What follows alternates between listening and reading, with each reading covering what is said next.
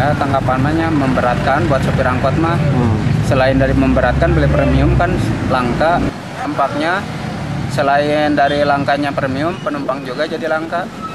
Jadi sepi apa ya? Iya sepi. Itu Soalnya dikarenakan apa Pak? Sepi.